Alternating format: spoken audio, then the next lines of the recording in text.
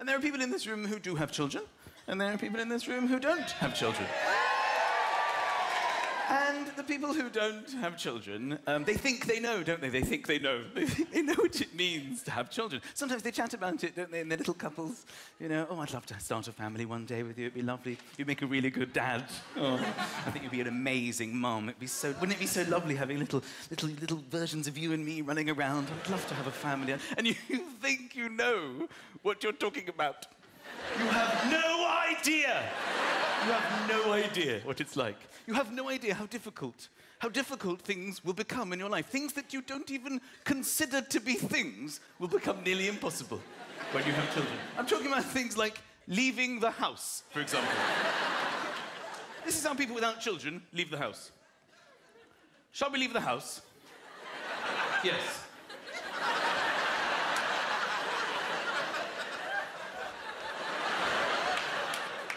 This is how I leave the house almost every day. Lucas, Oscar, come downstairs. We're late. Why aren't you downstairs? Put your shoes on. I don't know where my shoes are. Put your shoes on. Go and find your shoes. Where did you see them last? On my feet. After that, get your shoes on. Come here, come here. Arms up, arms up, arms in, arms in, arms up, arms up, arms in. That's my wife. She's so tired, she can't dress herself. Arms in, what arms, darling? Where are we going? I want to go to bed. Uh, Where are we going, darling? Darling, you've got Lucas's shoes on your hands. I found your shoes, darling. You put your shoes on. Where's Ozzy? Come downstairs! We're late! Put your coat on. I don't want to wear my coat. You, you know, people without children, you know how you do zips up? I've seen how much time you have in your lives. How you focus on it. You get the one with the fabric. You just pop it in, don't you? It nestles in. Then you pause, thinking about your free life and what you might want to do with it later that day. And then you just glide up, don't you? Do you think I have time for that shit in my life? Every single morning. Yeah, oh, I've ruined, ruined it. Mm, Stay still.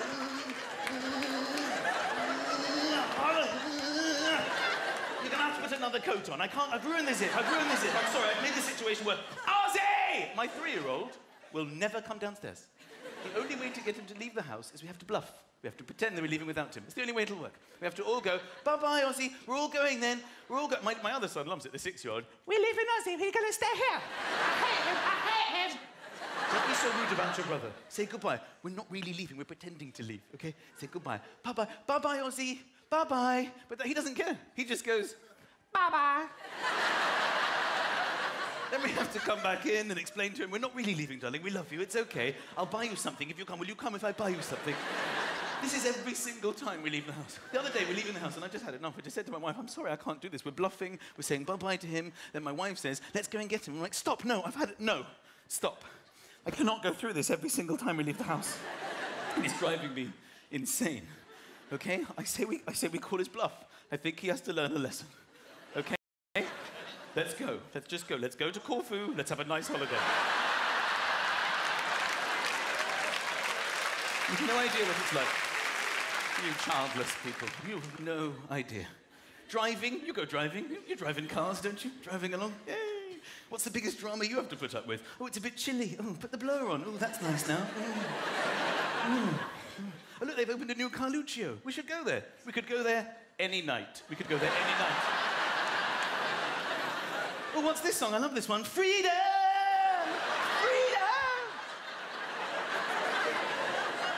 I strap my children into the car.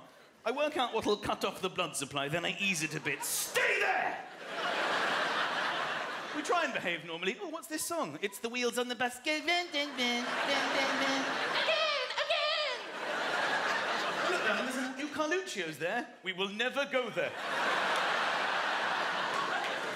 The other day I was checking my children in the rearview mirror to see that they're safe. We're on the motorway, okay? I look, you just angle it to check that they're both okay because, you know, you're looking after them. Neither of them were there. They had both wound the windows down and had their heads on the motorway out of the window. Yay! Both of them, either side. Yay! My wife and I just lost it. They can't hear us. They're having the times of their lives. What you said, Daddy? on the motorway, going 80 miles an hour to stick my head out of my window to try and communicate with my child. Get in the car! What are you saying? My wife's doing it too. Get in the car! What is it, Mummy? All four of us had our heads out of the window.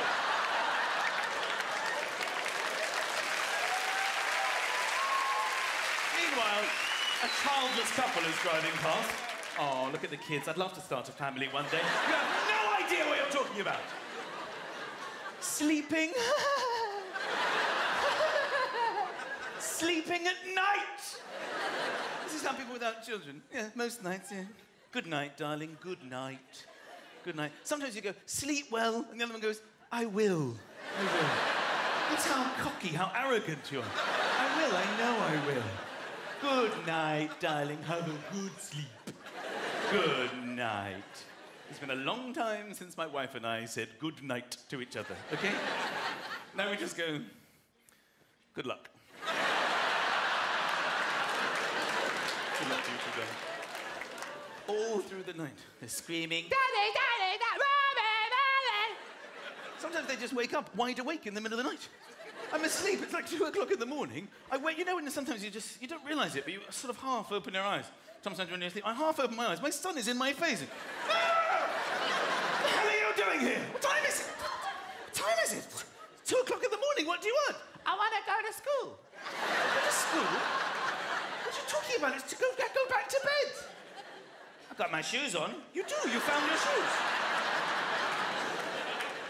I fixed my jacket. How the how did you? Oh, done up. What are you doing? It's two o'clock in the morning, you idiot.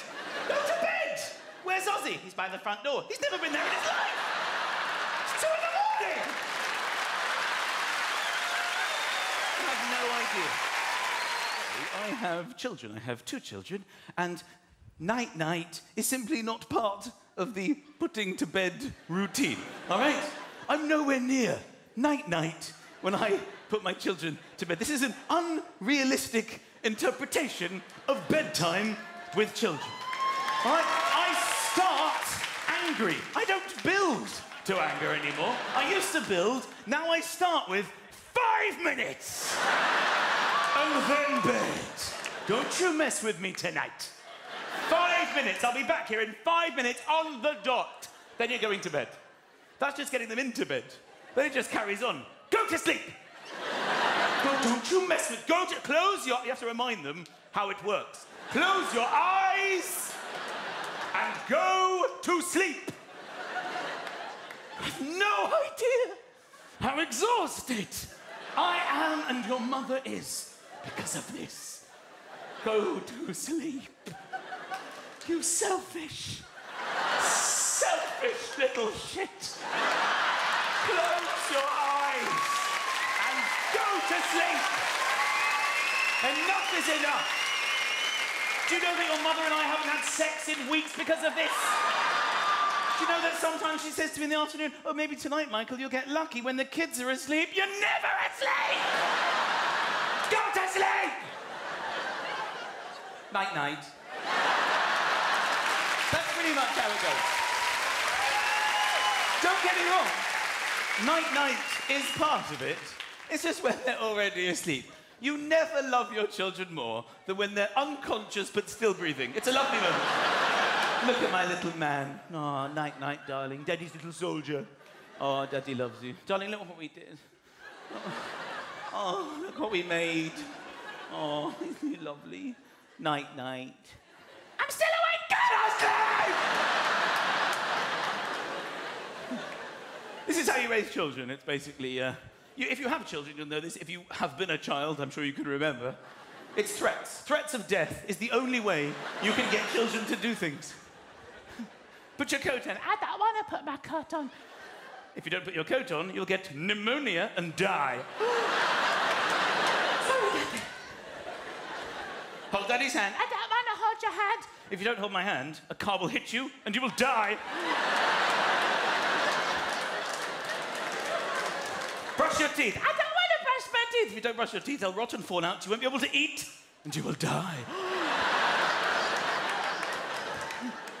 go to bed. I don't want to go to bed. If you don't go to bed, I will personally kill you. I've got a plan and an alibi. Family people in tonight, who's got children? Round of applause, you got children?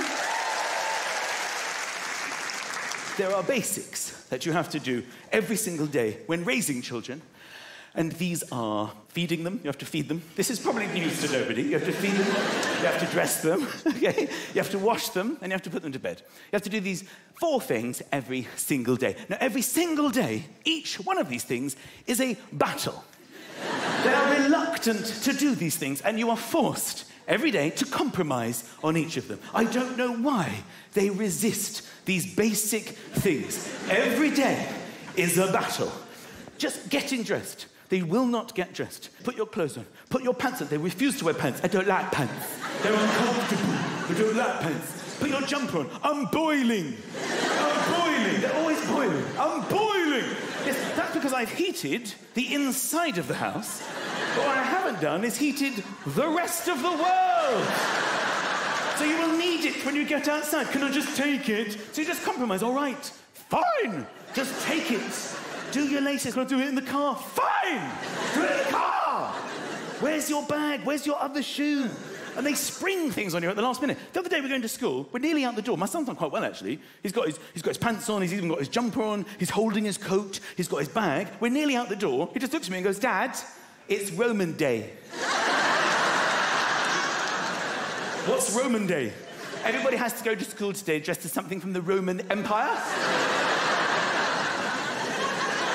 I'm supposed to be at school in six minutes. What exactly did you expect me to do at this point? Oh, yes, when I was nine, I was a centurion. I think I still have my armor here in the cupboard.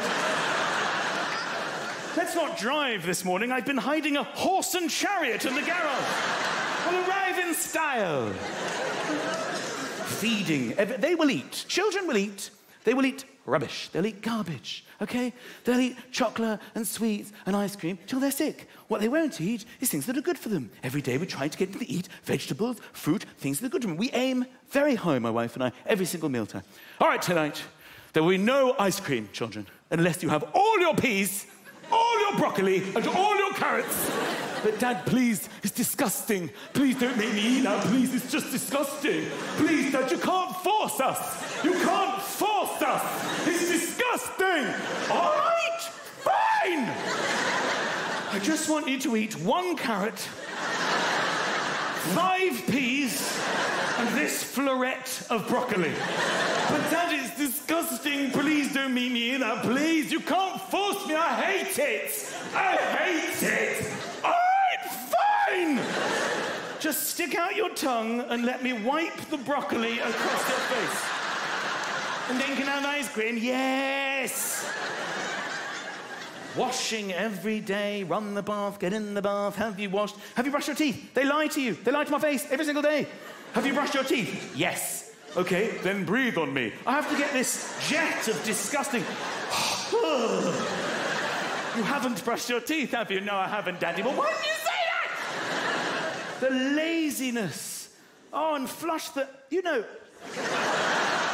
Before I had children, I used to dream about what it was like. My wife and I would discuss it. I can't wait to have children. It's going to be amazing. You'll be such an amazing mom.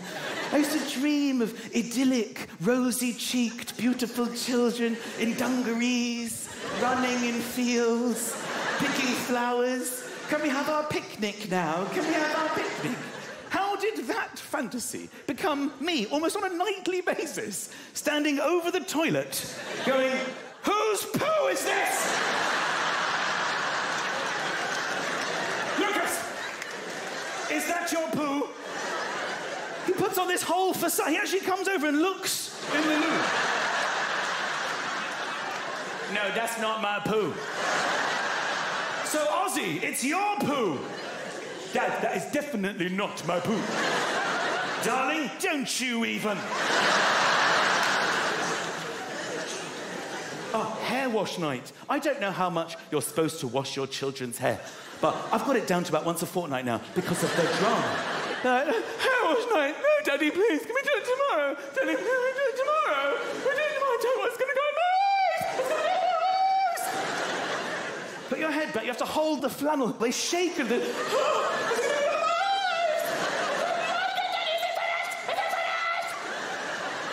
rabid, the shampoo actually goes a little bit in their eye.